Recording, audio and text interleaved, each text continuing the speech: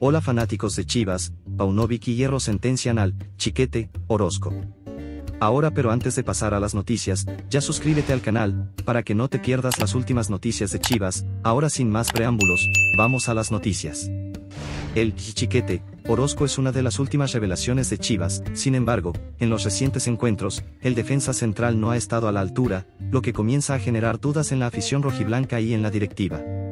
Ambos acusan a Orozco de no estar enfocado en Chivas y estar pensando más en una oferta de Europa, pues la fuente señaló que el jugador de 20 años, hasta cambio de agencia de representantes para tener más facilidades de ir al viejo continente. Recordar que hace unos meses, algunos medios reportaron que Orozco estaba siendo seguido de cerca por un equipo del viejo continente, sin embargo, nunca revelaron el nombre, además, Orozco era una de las opciones de Tigres para reforzar su defensa.